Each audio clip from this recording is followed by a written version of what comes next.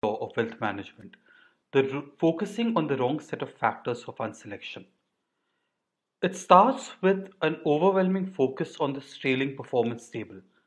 Despite repeated warnings and disclaimers, this trailing performance table continues to be widely relied on by relationship managers and investors while making investment decisions.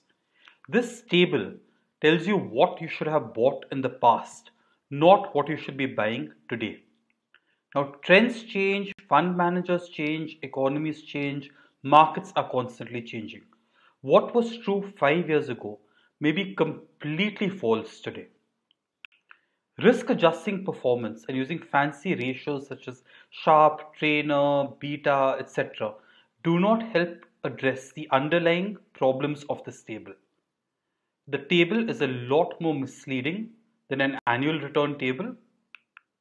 It ignores the impact of level 3 to 5 trends and it is not an indication of the quality of a fund or its ability to outperform. Let's look at the first problem, right? The difference between a trailing and annual performance table. This is actual data of an actual set of funds. If you look at the trailing returns, look at the annual returns. There are certain problems with the trailing return table. It's much less representative of how returns are generated. If you look at the trailing return table, it really hides the level of risk and volatility, which is immediate apparent when you look at annual returns. It hides underlying return volatility. It conceals differences between funds and categories and how they perform across different market conditions.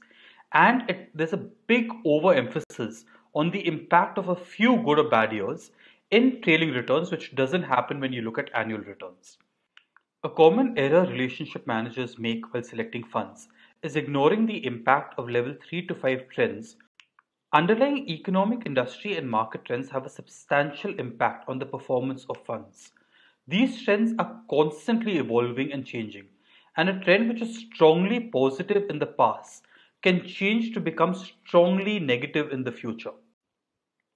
As an example, the very strong outperformance seen by small and mid caps from 2014 to 18 led to investors investing very heavily in small and mid caps in 2017 and 2018 a period where they were extremely overvalued, leading to very large losses as the trend reversed over 2018 to 2020. Investing without understanding the underlying level 3 to 5 funds that drive performance can lead to very poor investment decisions being made. Now, this can be seen in actual data. So, for example, if you're seeing the chart on the left, this is the trailing performance you would have seen in Fund A and B and C on 23rd Jan 18. Fund A and B are small cap funds, Fund C is a blue chip fund. Looking at this trailing performance data, you would have ended up wanting to invest in Fund A and B and not investing in Fund C. However, the reality is if you had invested in Fund A or B, would have led to fairly sharp investment losses over the next couple of years, whereas Fund C is a fund that was actually the right investment decision to be taking. Another common errors relationship managers make in fund selection is confusing short-term performance to be some indicator of quality or ability of a fund to outperform in the future.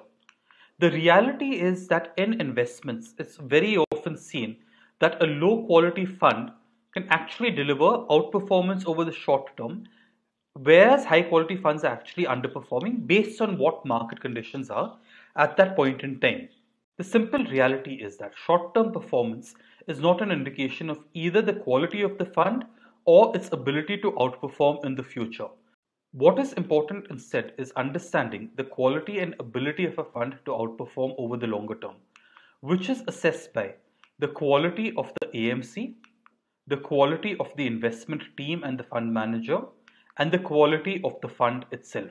There are various parameters that help you assess this and this is what you really need to focus on when identifying the funds that you wish to invest in over the longer term because it is this understanding that really helps you gauge the potential for a fund to outperform in the future versus a simple understanding of what fund has outperformed in the past.